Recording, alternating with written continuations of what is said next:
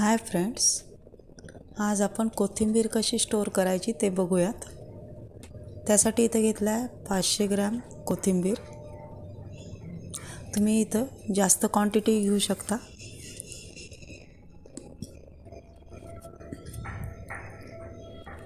हे आपण निवडून घेऊयात. याचे फक्त हिरवे पानं तोडून घेऊयात या पद्धतीने.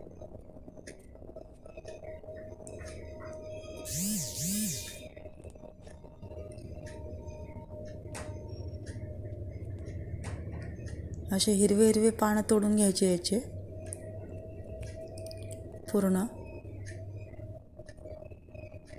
ही कोथिंबीर तुम्हाला उपयोगी पडते. जेव्हा मार्केटमध्ये कोथिंबीर ॲवेलेबल नसते त्यावेळेस तुम्ही ही कोथिंबीर वापरू शकता.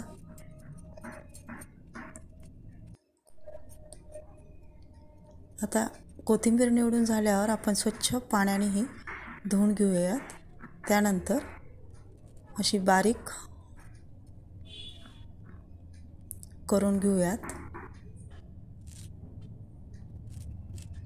या प्रकारे.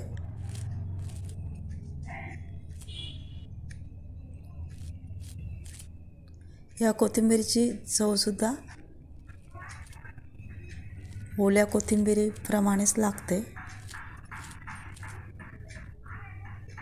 परंतु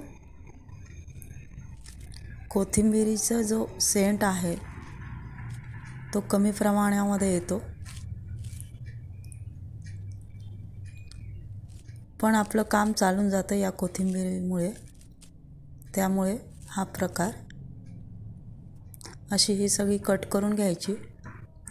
त्यानंतर एका कपड्यावर ही अशी पसरवायची. छान ड्राय होऊ द्यायची मस्त. अशी बारीक पद अशी जा टाकायची सगळीकडे.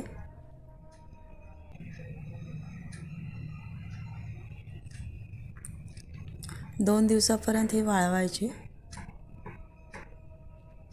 अशीच पसरून ठेवायची दोन दिवसानंतर.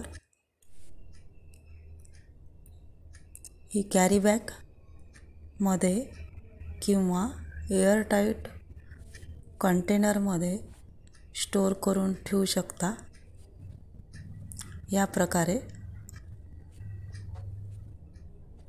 ही अशी वाळते.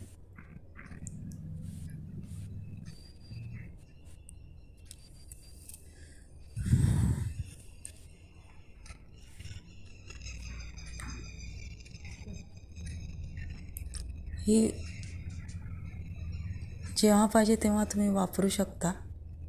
या प्रकारे स्टोअर करायची. ही रेसिपी तुम्हाला आवडली असेल तर लाईक करा आणि शेअर करा.